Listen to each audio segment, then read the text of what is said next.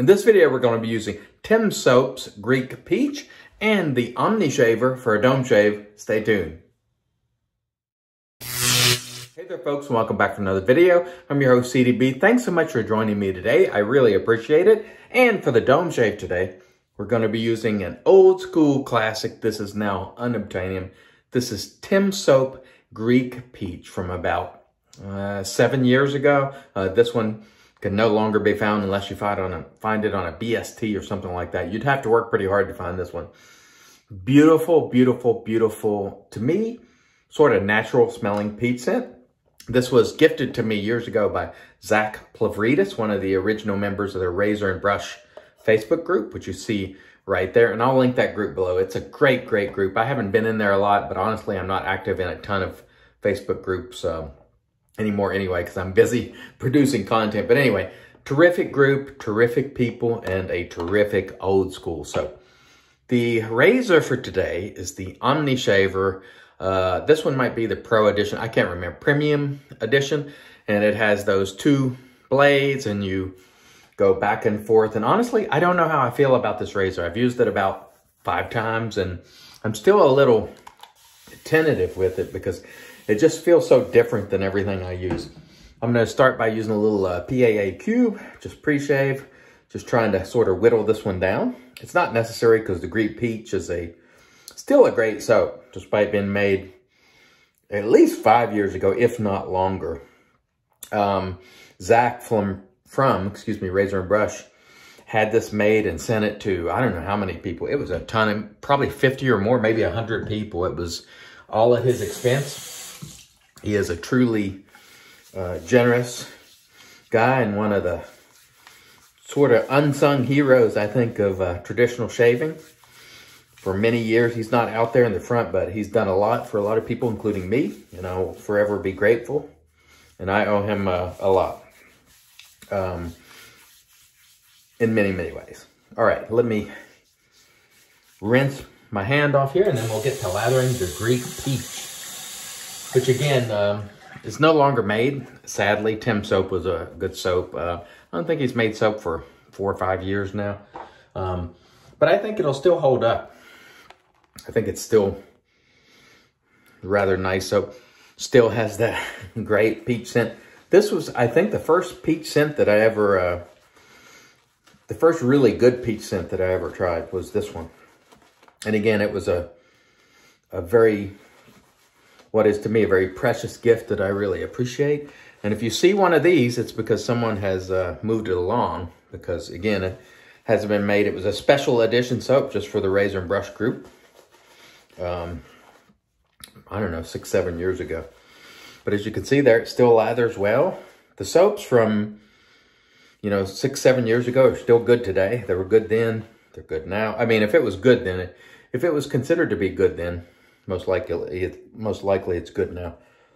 And I know the OmniShaver Pro is not really meant to be used with a traditional lather like this, but I like to use it that way. They suggest you use one of their one of their products, of course, but I use it with this. And, and again, it's it's been difficult for me to get used to this razor because it's just, it feels so different. And the concept is that you put it on your head and you start moving it back and forth. And you apply pressure, which is sort of counterintuitive, but it does work. I think it's very tricky around the, the ears. That's where I tend to have my, if I do have trouble with it, it's around the ears. But essentially you keep moving it back and forth. And it's supposed to be sort of stropping the blade on the backstroke. And then when you're moving it forward, with one of the blades, it's also stropping the other blade. So it's sort of a, a unique sort of gizmo, I guess you would call it. Um, but it does work. But one thing you want to be careful about is not to get this razor moving in a horizontal direction when it's or when it's oriented that way. Because if you do, it's going to be bad. Um, just be mindful of the fact that you've got like 10 blades there. So if you get going horizontally with that, it will not be good when it's ori when it's oriented that way, sorry. tongue twisted there. Just be mindful of what you're doing with this razor. But I will say, if you were in a hurry, you could just zip along like this.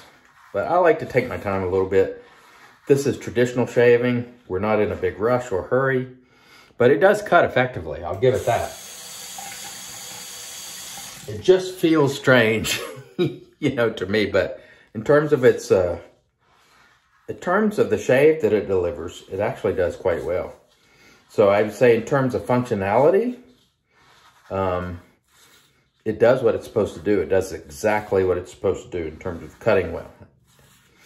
Uh, in terms of the sort of uh, the style of the shaver,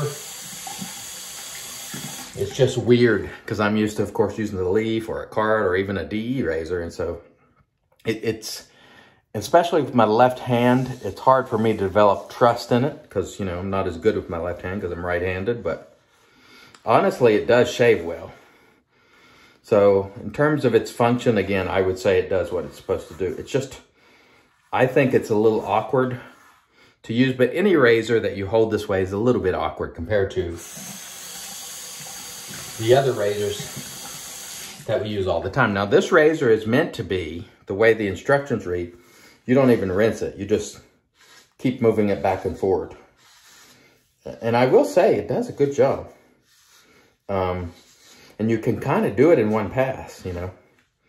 So I'm just going to continue to clean up here and do some cleanup uh, strokes. But if you do it the way they say, which is to apply their product, just go back and forth and just sort of cover the entire head, you can get a, a very good shave fairly easily doing it. So it does work. Uh, but it, would it be one that I use regularly? No, no, not unless I was in a hurry. And again, for us who are hobbyists of, you know, traditional shaving hobbyists, it's not about being in a hurry. It's about taking your time and luxuri luxuriating, excuse me. Um, for me, it's just difficult. These Around these ears it's just where I struggle a little bit because of the sort of form factor. So function, I think it works very well. The form factor is kind of wonky uh, for me. But again, the razor is doing what it's supposed to do. But I fall into the habit of not buffing. You're supposed to be constantly buffing back and forth, back and forth with this razor. And honestly, um, if you did that one pass, um, buffing, you would probably have a DFS shave, with this, which is darn fine shave. Of course, for me, I want to get baby butt smooth, so I'm just feeling around for any parts I might have missed. And again, for me, it's a little awkward around the ears. But honestly, you can get a very decent shave with this razor. Uh, that's pretty good. That is definitely DFS. I have a couple of areas around the ears here and one spot right there that I need to work on a little bit. But other than that, it's quite decent. And honestly, I don't have to relather again. The Tim soap still has good residual slickness. So it's done a great job. So let me rinse and then we'll come back get into the booth. Stay tuned. And all right, we are back with the magic made by witches. This is Thayer's Witch Hazel Cucumber, which I'm spraying on the dome and may, may as well hit the face as well. The Omni Shaver, I don't know how I feel about it. Um, it will definitely get it done. If you were in a hurry and wanted to do a quick head shave, I think this could certainly provide that. I've used this maybe, I don't know, I said five times, six, seven, maybe more. I have it logged in a book how many uses I have on.